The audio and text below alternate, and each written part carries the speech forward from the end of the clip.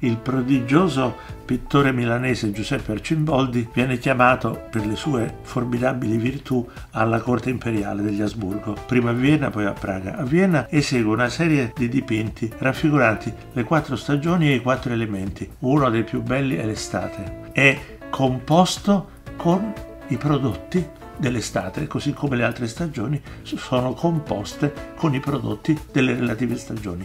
È un divertimento vedere il procedimento con cui Arcimboldi è arrivato a questo, un gioco supremo dell'intelligenza e dell'abilità tecnica, al punto che bisogna sforzarsi per decifrare la firma e la data. Osservando bene si vede sul colletto composto di paglia c'è scritto Giuseppe Arcimboldo e sulla manica la data 1563, un prodigio dell'arte, uno stimolo dell'intelligenza e un consiglio per tutti noi. Guardare un'opera d'arte vuol dire scrutarla, ispezionare